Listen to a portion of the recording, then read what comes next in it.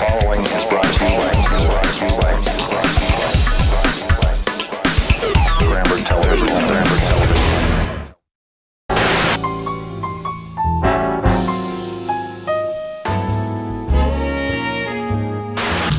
Good afternoon, ladies and gentlemen.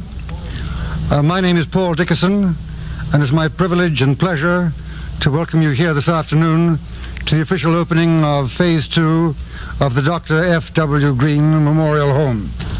A very special and personal guest is that we have with us is the daughter of Dr. F.W. Green, Mrs. Elizabeth, Elizabeth Scott. Oh, indeed. Great to have you. Congratulations to everyone who has worked hard to make this initiative possible, and sincere good wishes to the residents for a happy and enriched life in their new homes.